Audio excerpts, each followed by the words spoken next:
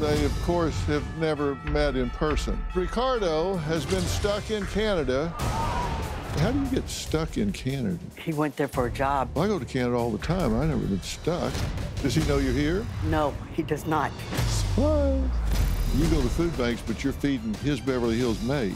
Yes. What kind of no good son of a bitch will take money from a woman? All new Dr. Phil.